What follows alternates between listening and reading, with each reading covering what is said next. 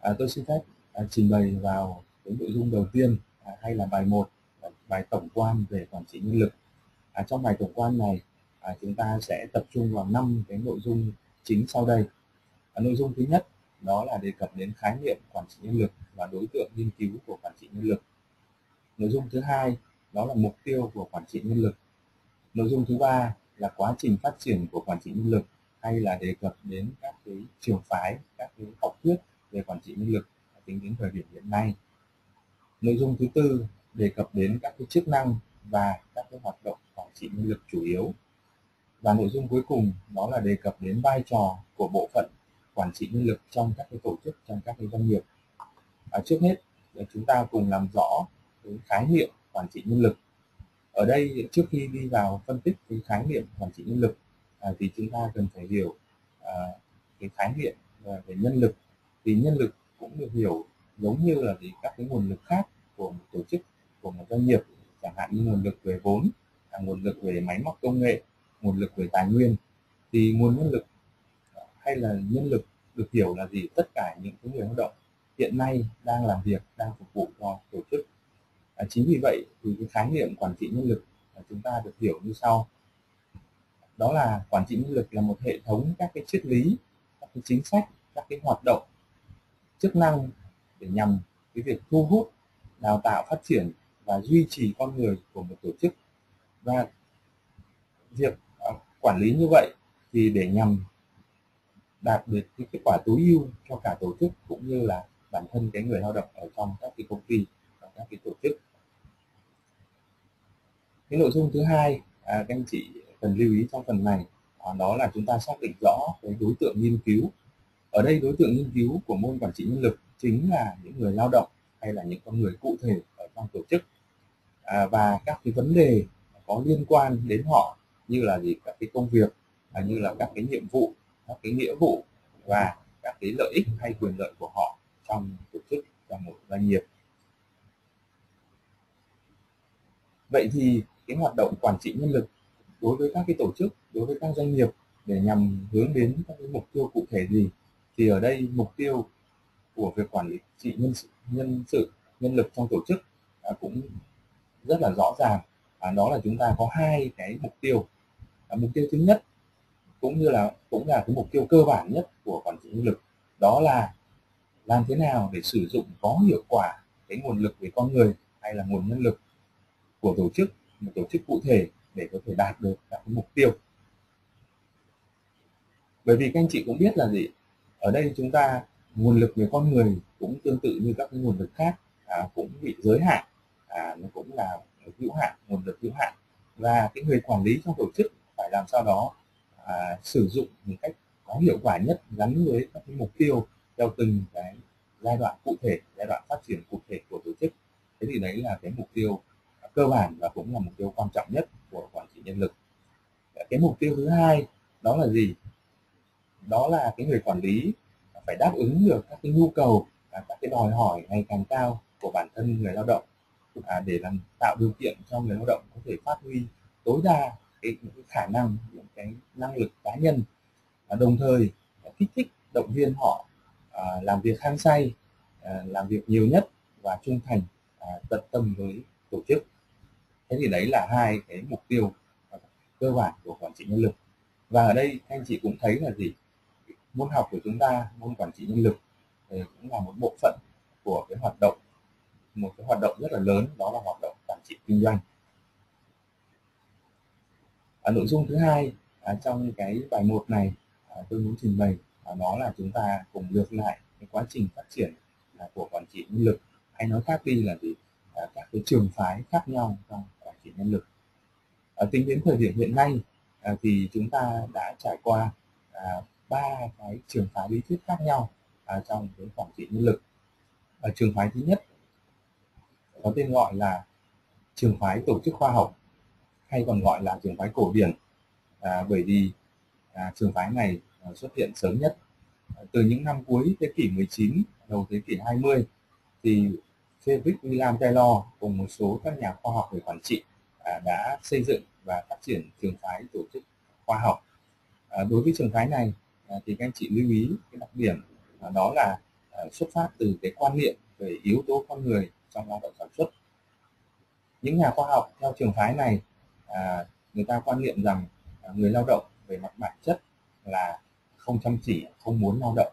À, chính vì vậy à, các cái phương pháp trong quản lý à, quản trị nhân lực của trường phái này người ta tập trung vào việc à, xây dựng các cái thủ tục kiểm tra kiểm soát mà các cái à, xây dựng một cái hệ thống trong trật tự công việc một cái hệ thống về quản lý rất là chặt chẽ và sử dụng các cái phần thưởng cũng như các cái hình phạt để buộc người lao động làm việc.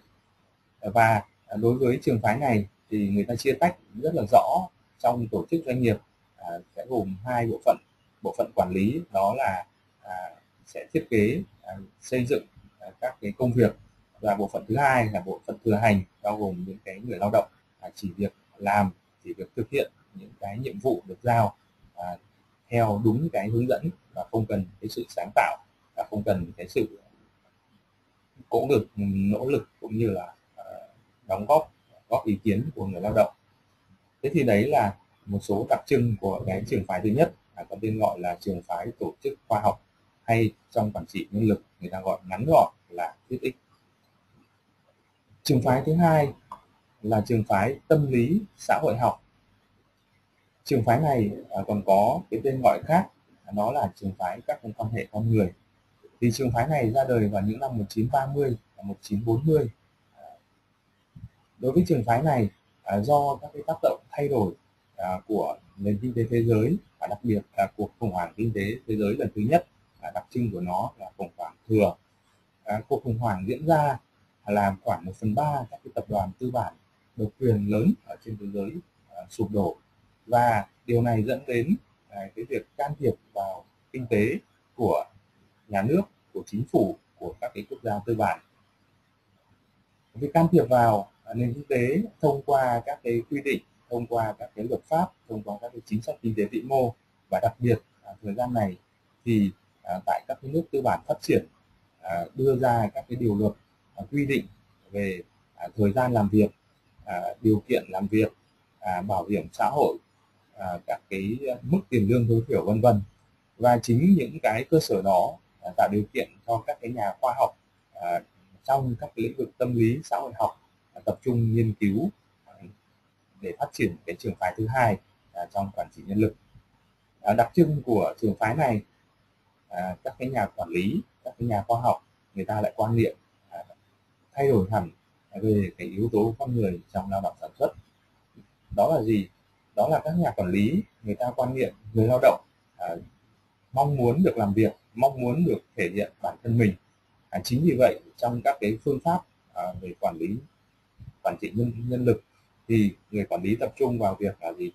À, phân quyền cho người lao động à, để người lao động tự chịu trách nhiệm về các cái nhiệm vụ cũng như là có trách nhiệm với thực hiện công việc à, tôn trọng các cái ý kiến à, các cái sự đóng góp à, cũng như là cái à, tôn trọng cái tính sáng tạo trong công việc của người lao động. Thế thì đấy là cái trường phái thứ hai trường phái tâm lý xã hội học. Và trong quản trị nhân lực người ta cũng gọi ngắn gọn đó là thuyết y. Cái trường phái thứ ba à, đó là trường phái hiện đại à, hay là à, cái trường phái mà hiện nay chúng ta cùng trao đổi với nhau về cái lý thuyết. À, trường phái hiện đại còn có một cái tên gọi khác đó là trường phái các cái tiềm năng con người. Trường phái thứ ba này ra đời vào những năm 1970 1980 à, và cơ sở ra đời của nó cũng dựa trên những cái sự thay đổi à, về nền kinh tế thế giới và đặc biệt là cái cuộc khủng hoảng về năng lượng nhiên liệu diễn ra vào năm 1973 à, cùng với sự phát triển của khoa học kỹ thuật đặc biệt là à, trong lĩnh vực à, tin học à, công nghệ thông thông tin và sự hình thành à, của internet. À, lúc này các nhà quản lý thấy rằng à, có một cái nguồn lực cần được khai thác, cần được tập trung khai thác, đó là nguồn lực về con người hay là gì? Những cái tiềm năng, còn tiềm ẩn của con người. Cái trường phái thứ ba quan niệm của các cái nhà quản lý cũng như các nhà khoa học về cái yếu tố con người trong lao động sản xuất nó cũng thay đổi. Người ta nhìn nhận những người lao động trong tổ chức trong doanh nghiệp à, dưới dạng các cái tiềm năng các cái khả năng cần được khai thác và làm cho phát triển. Chính vì vậy đối với cái phương pháp quản lý nhân sự của à, trường phái thứ ba này à, tập trung vào việc à, là tạo ra các cái điều kiện làm việc để người lao động có thể phát huy được những cái khả năng những cái tiềm năng của mình. Và à, người quản lý sẽ ờ, ghi nhận những cái nỗ lực những cái đóng góp à, những cái sáng tạo của bản thân người lao động. À, thông qua việc à, ghi nhận những cái đóng góp này thông qua việc à, có các cái à, lợi ích về mặt tài chính cũng như là phi tài chính.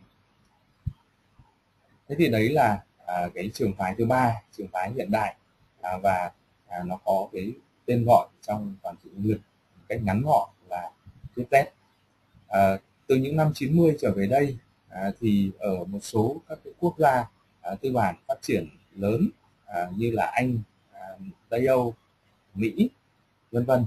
À, thì hình thành một à, một cái ừ, nhánh à, của cái trường phái hiện đại đó là trường phái à, quản trị à, nhân lực chiến lược.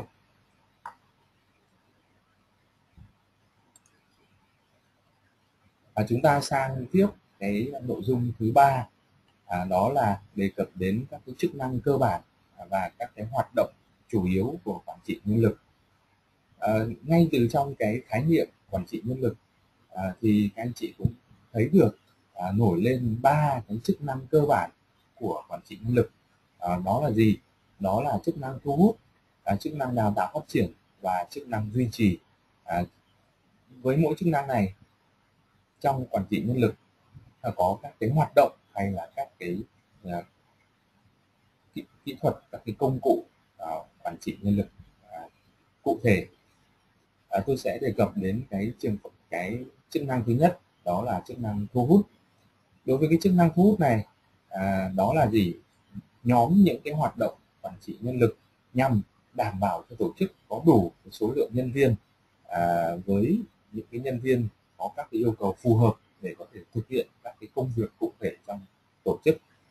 Và nhóm chức năng này à, sẽ bao gồm các cái hoạt động quản trị nhân lực cụ thể như sau. À, đó là ba cái hoạt động quản trị nhân lực. Thứ nhất đó là hoạch định nhân lực. À, thứ hai là hoạt động phân tích công việc. À, thứ ba là hoạt động tuyển dụng nhân viên và được hoạt động tuyển dụng nhân viên à, được trình bày cụ thể dưới hai cái quá trình đó là quá trình tuyển mộ nhân lực và quá trình tuyển chọn nhân lực. Chức năng cơ bản thứ hai à, của quản trị nhân lực trong các cái tổ chức, đó là chức năng đào tạo và phát triển. Đối với nhóm chức năng thứ hai này à, thì sẽ nhằm nâng cao cái năng lực của nhân viên hay là những cái người lao động cụ thể trong tổ chức để đảm bảo cho nhân viên trong tổ chức à, có đầy đủ các cái kỹ năng cũng như cái trình độ lành nghề cần thiết để có thể hoàn thành à, các cái công việc mà tổ chức giao phó. Và nhóm chức năng này sẽ bao gồm hai cái hoạt động quản trị nhân lực cụ thể sau đây.